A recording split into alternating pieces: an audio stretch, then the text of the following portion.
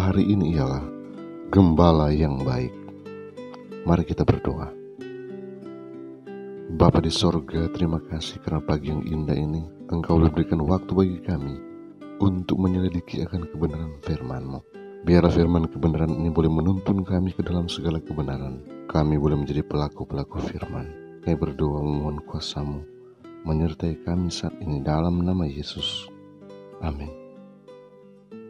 Ayat inti kita hari ini diambil dari Yohanes pasal 10 ayat yang ke-11. Firman Tuhan berkata, Akulah gembala yang baik.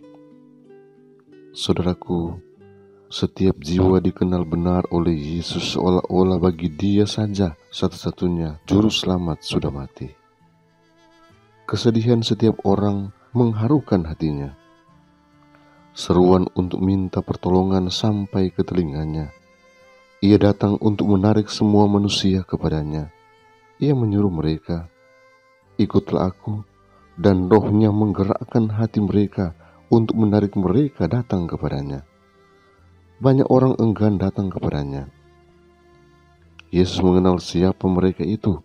Ia pun mengenal siapa yang mendengar panggilannya dengan sukacita dan bersedia datang di bawah penjagaannya. Ia berkata, Domba-dombaku mengenal suaraku, dan aku mengenal mereka, dan mereka mengikut aku. Yohanes 10 ayat 27. Ia menaruh perhatian kepada masing-masing seolah-olah tidak ada yang lain di permukaan bumi ini. Bukannya takut akan hukuman, atau harapan akan pahala kekal yang menuntun murid-murid Kristus untuk mengikut dia.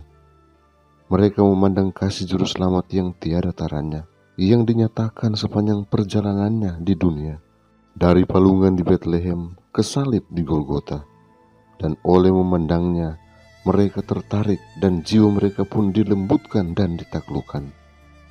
Kasih timbul dalam hati orang yang memandangnya. Mereka mendengar suaranya dan mereka mengikut dia. Sebagaimana gembala berjalan di muka domba-dombanya, dan ia sendiri menemui bahaya di jalan, Demikian juga Yesus dengan umatnya. Jika semua dombanya telah dibawanya keluar, ia berjalan di depan mereka. Jalan ke surga disucikan dengan jejak kaki juru selamat.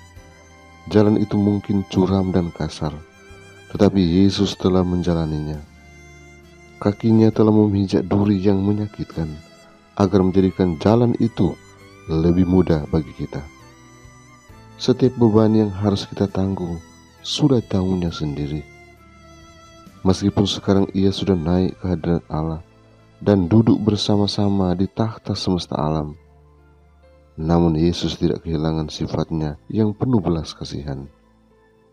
Dewasa ini pun hati yang lemah lembut dan menaruh simpati terbuka terhadap segala bencana manusia. Dewasa ini tangan yang sudah ditembusi paku diulurkan untuk berkati dengan lebih limpahnya umatnya yang ada di dunia. Maka domba-domba itu tidak akan pernah binasa selama-lamanya, dan tidak seorang pun mengambilnya daripadaku. Yohanes 10 ayat 8 Jiwa yang telah menyerahkan dirinya kepada Kristus lebih berharga pada pemandangannya daripada segenap dunia. Juru selamat mau mengalami penderitaan di Golgota agar setiap orang diselamatkan dalam kerajaannya ia tidak pernah akan meninggalkan seseorang yang baginya ia telah mati. Kecuali para pengikutnya memilih meninggalkan dia, ia akan memegang mereka erat-erat. Tuhan Yesus memberkati kita hari ini.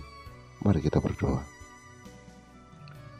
Bapa di sorga, terima kasih karena Engkau mau menjadi gembala yang baik bagi kami, yang mau menuntun kami ke jalan kebenaran, yang mengarahkan jalan-jalan kami kepada jalan-jalanmu.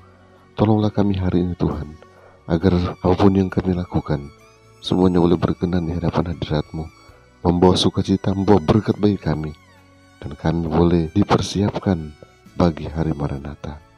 Terima kasih Tuhan, karena janji penyertaanmu sempurna bagi kami, yang boleh melakukan semua aktivitas kami, dan sukses kami boleh raih bersama-sama dengan Engkau. Karena kami menyerahkan kehidupan kami, rencana kami hari ini, hanya dalam nama Yesus Tuhan dan Juru Selamat kami. Amin.